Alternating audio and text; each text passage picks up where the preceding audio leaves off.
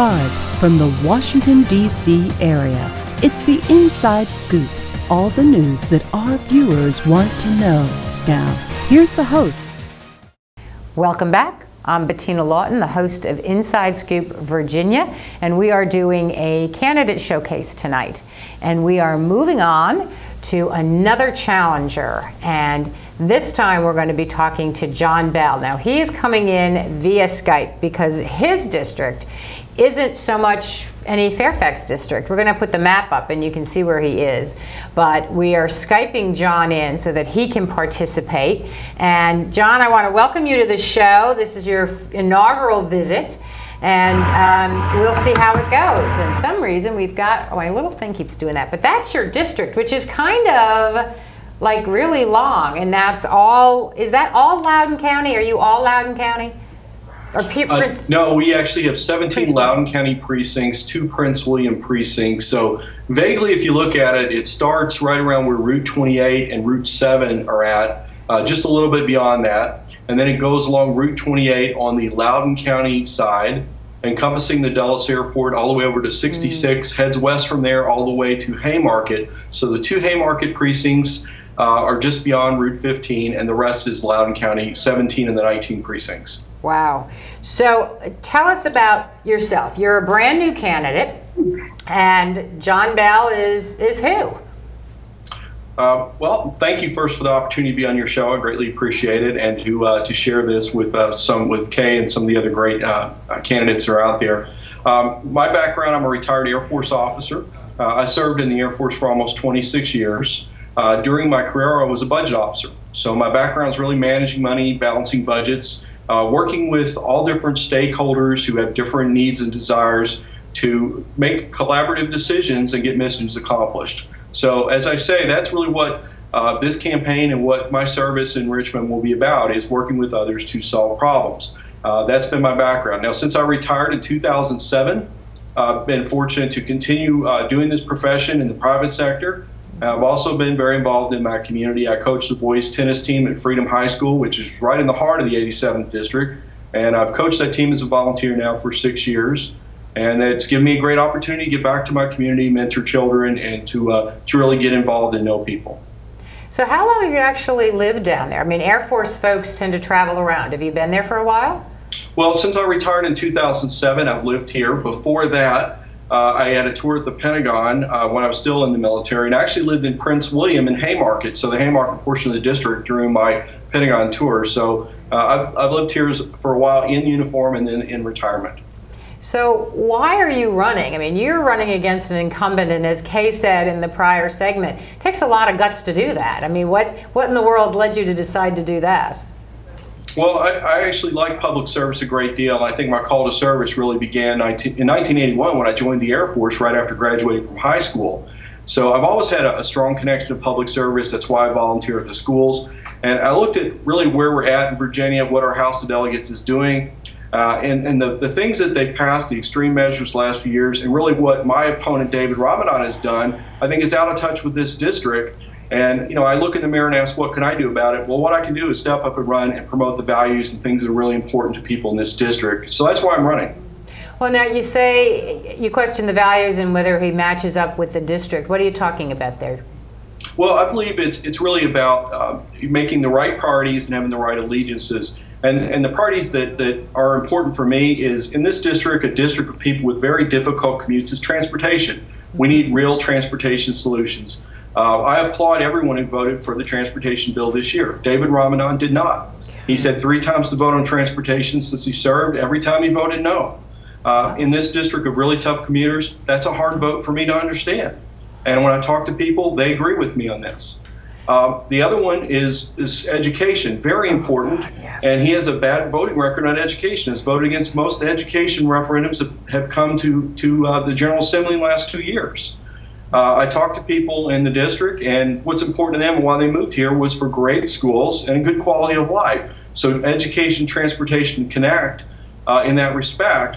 The other thing, which which I can tell you is important, that I have firsthand knowledge in coaching children uh, for the last six years. Parents want to be involved in their children, uh, in their in their lives, and in their activities after school. And if commutes are so tough, they really struggle to get back to, to see their children. So um, improving transportation is very important for business, not just now, but for our future in Virginia and our district. But it's also very important for families and quality of life. And then, you know, lastly, I think jobs are very important. Creating jobs in the district closer to home. If jobs are closer, then you don't have to drive so far to go to work.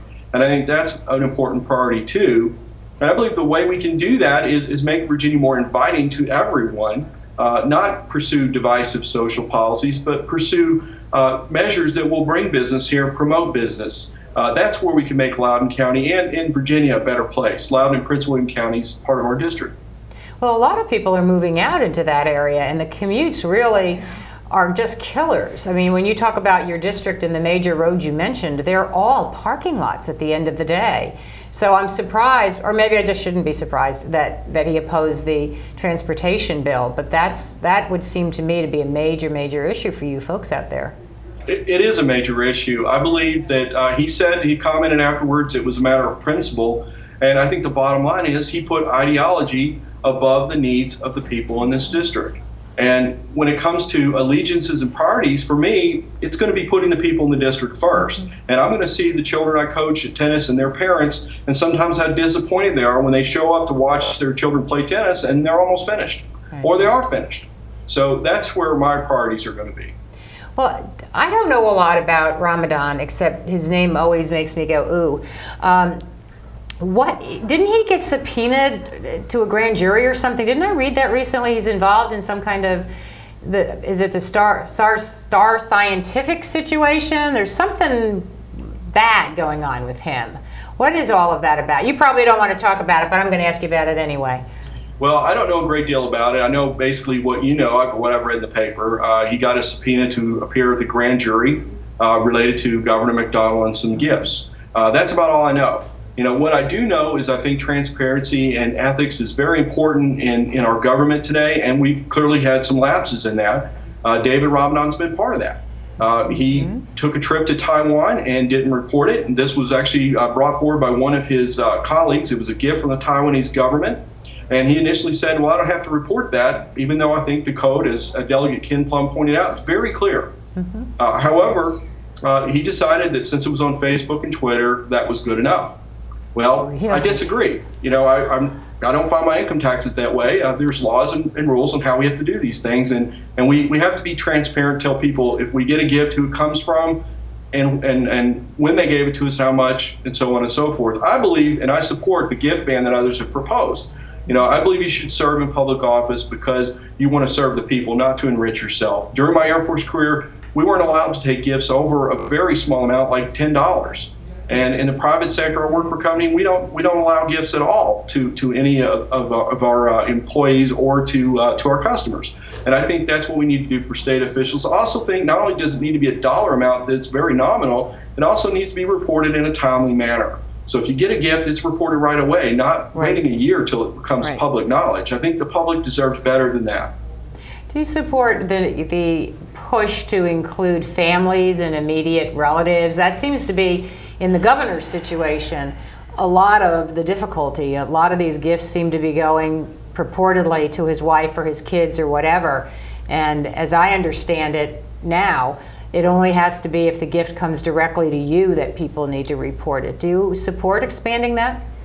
Yeah, absolutely. I think I think we have to include families. If that's a loophole that allows, you know, again, a lack of transparency to the voters, then we need to correct that. So I absolutely support that change as well. What do you say to folks when, you know, are the big issues? I assume you're going out on the doors like everybody else is. What are they, they talking to you about? Is it all transportation and jobs or, or what else is out there?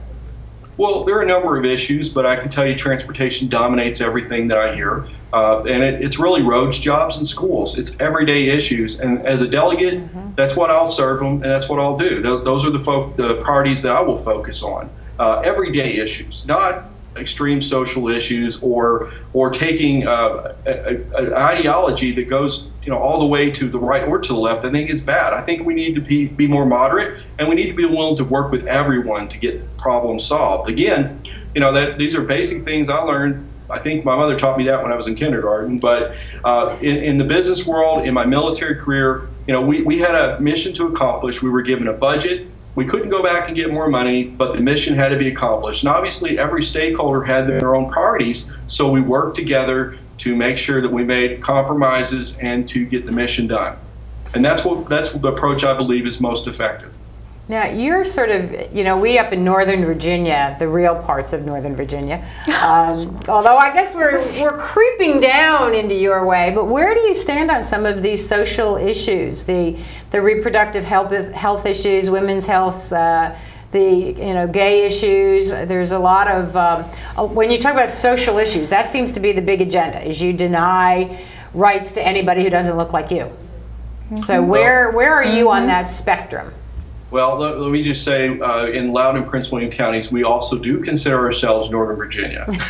but uh, on those issues, I am, I'm pro-choice. I just don't believe that the government should be involved in right. the intimate, private areas of deciding a woman's reproductive rights. I think women uh, need to decide that on their own. Uh, I have two daughters and two granddaughters, and I don't want any politician telling them what they can and can't do with their body.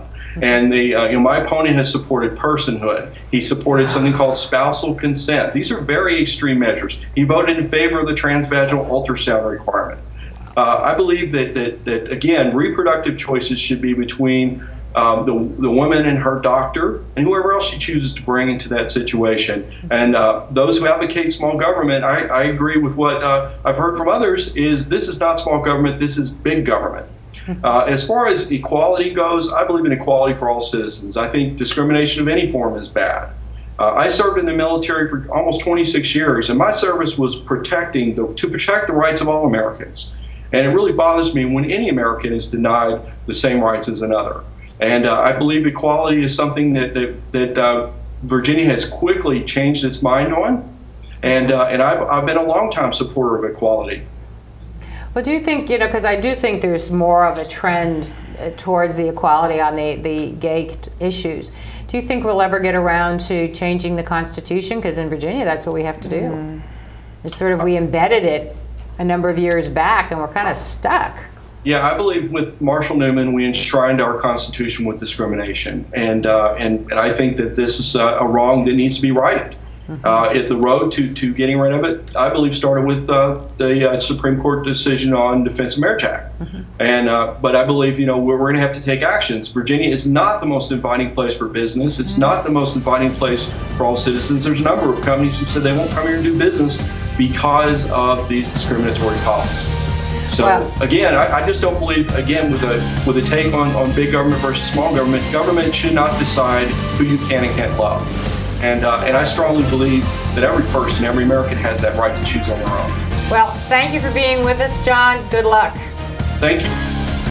And please go vote. State elections do matter. November 5th. Come out and vote for our great candidates. Thanks for being here.